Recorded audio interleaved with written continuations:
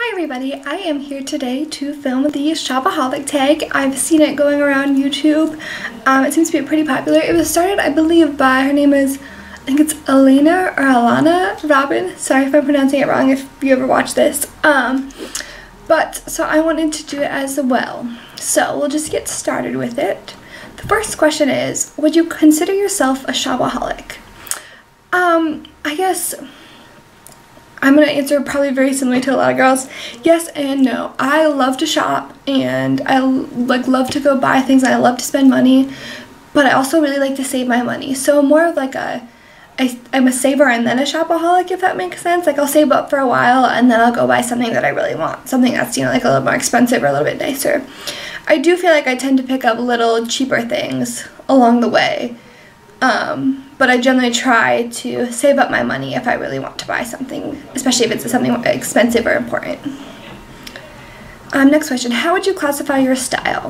Um, I don't know exactly, kind of girly, kind of classic, probably more sort of like my Julep Maven box is classic with a twist, and I guess that's kind of what I'd describe my my style as. Um, my favorite store is J. Crew. If I could have my whole wardrobe be from J. Crew, I would. You know, button-up shirts, cardigans, sweaters, pencil skirts. That would be like ideal. Floral dresses, like stuff like that. But um, I don't know. I kind of dress a little bit more simply, I would say, than that. I'm a big fan of just like a t-shirt or a sweatshirt or sweater and like pixie pants because it's comfy. Um, but so there's kind of my, how I classify my style. What store can you not leave without buying at least one thing? I'm gonna have to agree with almost everyone and say Target. Um, I, I, there's been usually I go I have a purpose. Usually it's to buy some sort of groceries or some sort of like home thing that I need or like you know I need shampoo or I need toothpaste or I need to go and buy dinner. Like that's generally why I go. But sometimes I've gone just with friends or whatever. I'm like, yeah, sure, let's go to Target. I always get something, whether it's like something from the clothes and accessories, or whether I go buy more food or pop or you know, or if I just go to Starbucks because that happens a lot too. um, and then where do you find the best deals? If we're considering like clothes wise, I would probably have to say Target again Although their things I feel like have been getting a little bit more expensive recently. So other than Target, I really like, I know it's not that cheap, but J. Crew Factory, they're um, online. They have like actual stores too, I believe, but online is the best. Um, and they often have like coupons and things, uh, so it makes it a lot cheaper too. So it's basically the same J. Crew things that you could buy at a J. Crew store, but just a lot cheaper. And they're like the same quality, they're the same things. Maybe they're just last season's colors or a different you know, like something slightly different with the way the stripes are made on this shirt or whatever. They're very, they're like the exact same clothes you'd find at a J. Crew store, just for a better deal. So I enjoyed that a lot as well. I've only ordered from there a couple times, but um, I love everything that I got from there. Um, what designer are you willing to splurge for?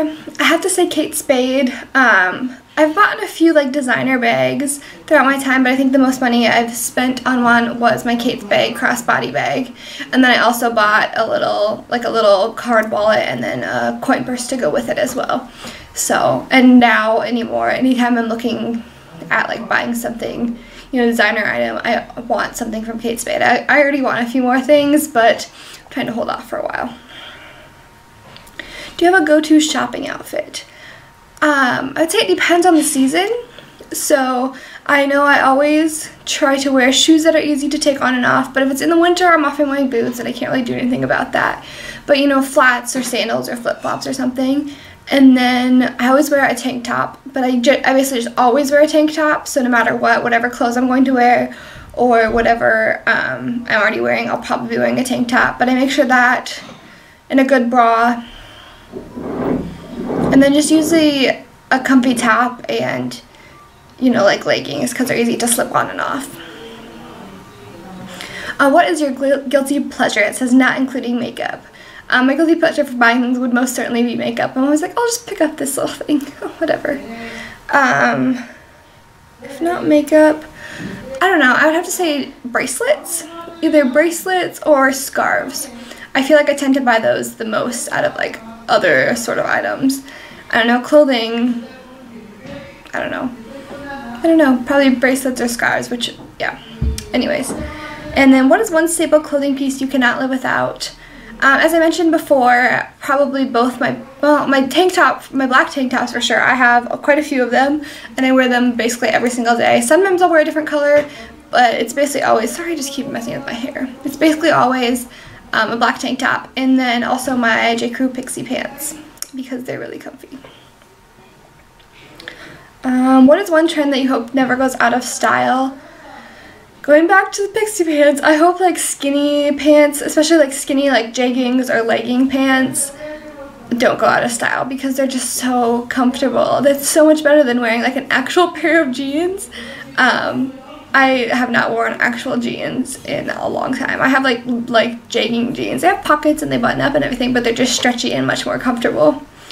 So gonna have to go with that because they look cute. You can wear like um, cute sneakers with them, or you can wear boots or flip flops or nice sandals or flats or heels, whatever, and it all goes.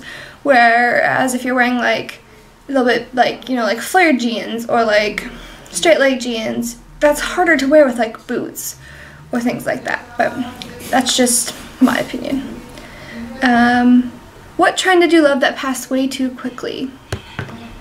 Should have looked at these before. Um,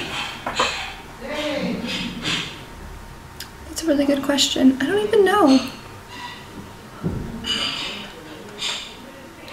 I actually might have to go with um, the hair feather things. And I know that they're still like around, like you can still find them. But I feel like they passed from being like fashionable and like for like, you know, women or like young women or whatever, like women, young women, teenagers, to being for like small children really fast. Um, I don't remember when I had them. Was if it was last summer or if it was like last last spring. I don't remember at all. But when I had them, I had them for a while. I didn't get it for a while because I was like, I don't know. But I just got a subtle one like back here.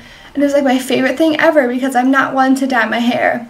But it gave me the opportunity to, you know, try some color out. So try something different out without it being super permanent or damaging my hair or anything. So if those came back, I would not be too upset. I would probably throw a couple into my hair for the summer or whenever. Um, and who is your fashion icon? Um, as I mentioned before, I might have to go with just like the J. Crew website, catalogs, models. I just love anything in that realm of stuff. Um, but beyond that, like an actual person, I had to say Kate Middleton. Just, she's got the perfect like classy, put together style. I just, I don't know.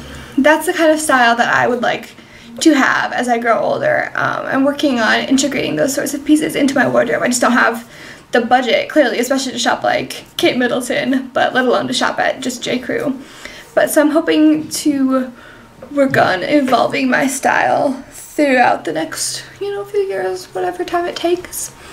But yeah, with that, um, that concludes this video. If you filmed the Shopaholic tag, um, let me know. I would love to see it. If not, just leave your answers down in the comments below and I would love to read them and respond to them.